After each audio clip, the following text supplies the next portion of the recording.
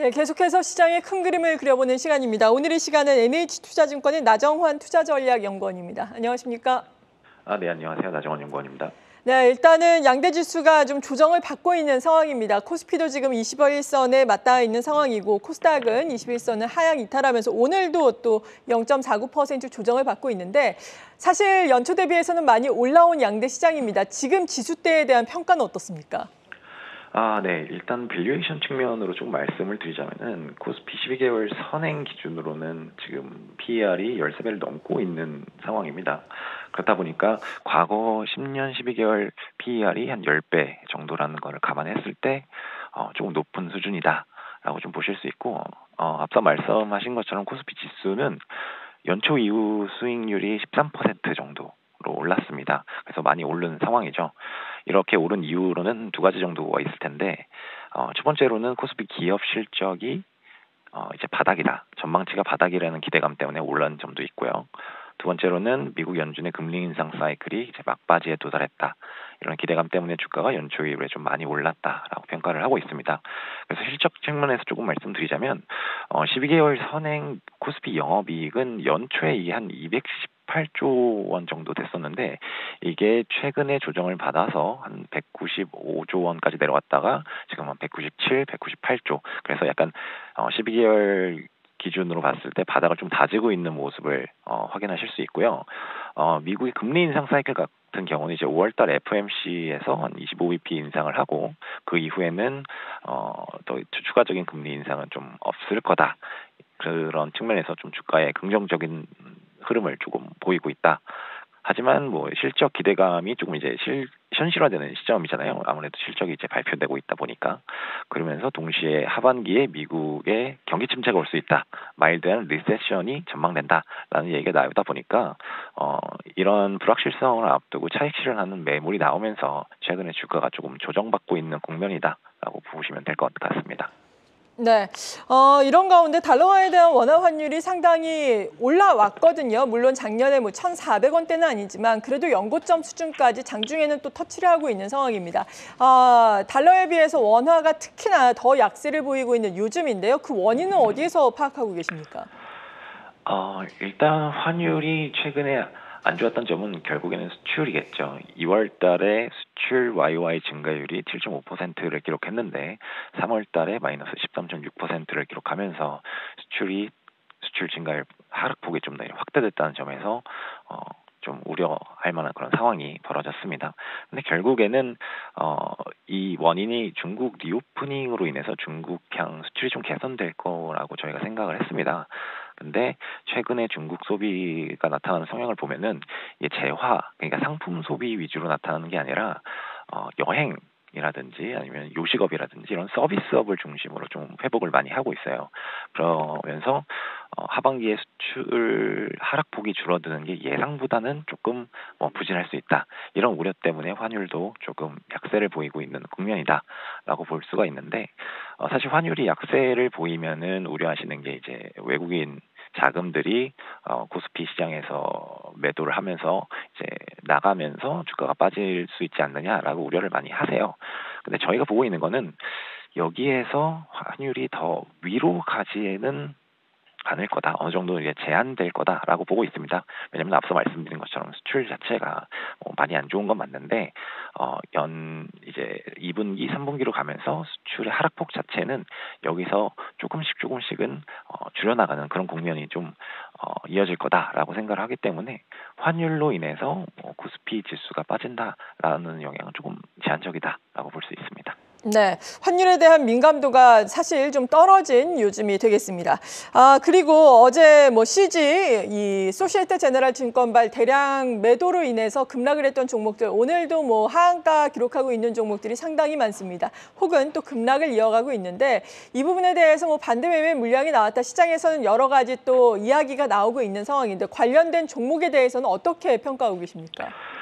어, 우선 그 CFD 반대 매매에 대해서 좀 말씀드리자면은 네. 이 반대 매매 자체가 주가 하락의 원인은 아닙니다. 그러니까 반대 매매로 인해서 주가의 하락폭이 확대될 수는 있는데 어, 뭔가 트리거가 발생을 해서 매도 물량이 나오고 어, 주가가 빠지면서 어, 증거금이 부족해지는 현상에 도달을 하게 되면은 반배 매매가 나오게 되고 그로 인해서 어, 주가가 추가적으로 더 하락하는 그런 추세가 이어지는 건데 어, 이런 상황이 지금 오늘도 조금 이어진다라고 볼 수 있는데 어, 종목한 이게 급락해서 한가를 기록한 그 기업들을 이제 저가에서 매수하는 게 어떠냐라는 의견들도 좀 있으십니다.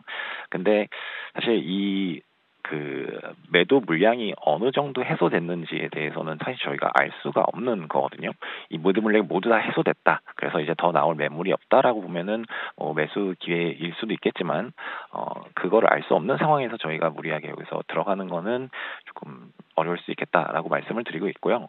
어, 뭐 우량주 같은 경우, 뭐 CJ 같은 경우는 어, 아무래도 기업 자체가 견실하다 보니까 어, 이런 거는 어, 많이 하락을 했음에도 불구하고 좀 저가 매수로서 좀 유효할 수도 있다라고 좀 평가를 하고 있습니다. 네, 이런 가운데 사실 전반적인 시장을 보더라도 신용 융자 잔고가 코스피 코스닥 합쳐서 20조 원을 넘어서고 있거든요.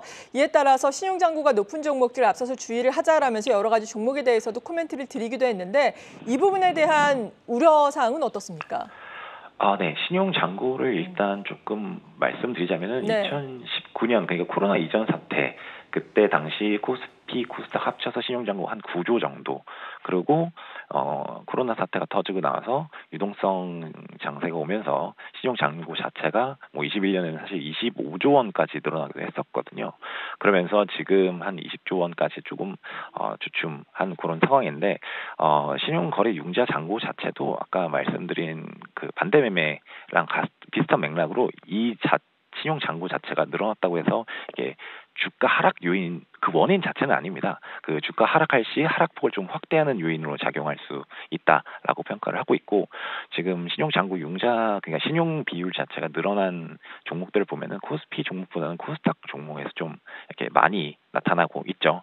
어 그런데 이거를 조금 시각을 달리 보자면은 어 신용 잔고가 높다기 높 높으니까 이게 매도가 나오면은 하락폭이 크게 발생할 수 있지만 반대로 생각해 보면은 어, 투자자들이 신용을 끌어다 쓸 정도로 어, 기업이 뭔가 이렇게 어, 투자 포인트, 호재를 가지고 있다라고 판단될 수도 있거든요. 그래서 이, 이 신용 비율 자체가 높다는 것만 가지고 이 주, 이게 무조건 위험하다, 안 좋은 주식이다라고 평가하기는 조금 어렵다라고 생각을 하고 있습니다. 그래서 어 이거는 종목 자체에 대해서 좀더 어, 자세히 들어봐야 된다라고 생각을 하고 있고 이 어떤 특정한 섹터 아니면 업종의 이런 신용 잔고가 이렇게 몰린 거는 아니고 사실 종목 에 따라서 많이 몰리기 때문에 어, 좀 특정 종목을 좀 위주로 많이 봐야 된다라고 생각을 하고 있습니다.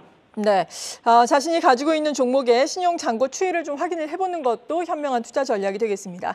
그리고 이번 주에는 미국에서 big tech 기업들의 실적이 발표가 되게 됩니다. 오늘 같은 경우에는 알파벳, 마이크로소프트 그리고 어, 내일은 메타의 실적, 27일에는 아마존과 인텔의 실적이 발표가 되는데 물론 숫자도 중요하겠지만 실적 발표하면서 뭐 앞으로의 guidance라든지 여러 가지 이야기가 나오는 것이 중요하지 않겠습니까? 관전 포인트는 어떤 게 될까요? 아, 네, 정확히 말씀을 주셨습니다. 실적 자체도 중요하죠. 아무래도 쇼크가 나지 않는다는 그런 결과가 나온다면은 당연히 주가에도 호재인인데요. 사실 실적보다는 향후 가이던스에 좀 더 주목을 해야 된다라고 평가를 하고 있는데 결국 한국 주식은 어, 반도체인데 어, 반도체 수요단을 담당하고 있는 게 이제 미국에 있는 빅테크 기업들입니다. 그래서 어, 뭐 마이크로소프트라든지 구글들은 구글이라든지 최근에 챗 GPT 같은 AI 모델을 좀 개발을 많이 하면서 어, 데이터 센터 아니면 GPU 이런 수요가 좀 늘어나고 있거든요. 그래서 이런 그 수요가 조금 늘어날 수 있는 그러니까 반도체 수요가 좀 늘어날 수 있는 향후 guidance를 이제 발표를 하게 된다면은 뭐 한국 뭐 반도체라든지 뭐 IT 하드웨어 쪽에도 좀 긍정적으로 작용을 할 수가 있습니다.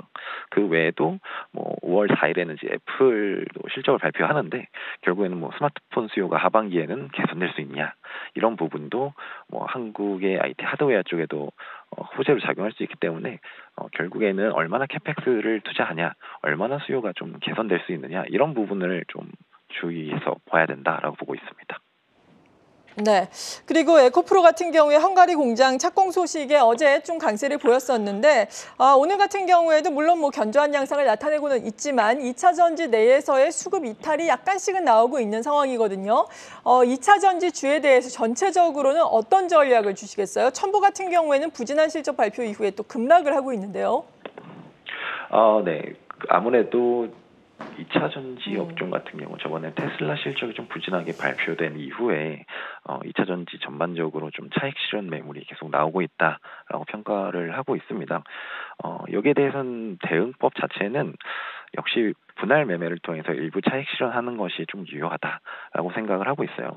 아무래도 실적에 대한 불확실성이 여전히 존재를 하고 어, 미국에서는 어, 하반기에 경기 침체 우려, mild recession이 발생할 수 있다라는 요인들이 아무래도 얘기가 나오고 있기 때문에 어, 일부는 좀 차익을 실현해서 현금 비중을 높이는 게 좀 유효해 보인다라고 보고 있고 만약에 어, 뭐 5월 세린 메이라는 말이 있잖아요. 그러면서 주가가 5월달에 크게 빠지게 된다면은 그때 좀 비중을 나중에 확대할 수 있는 그런 현금을 보유하는 것도 대안이 될 수 있겠고요.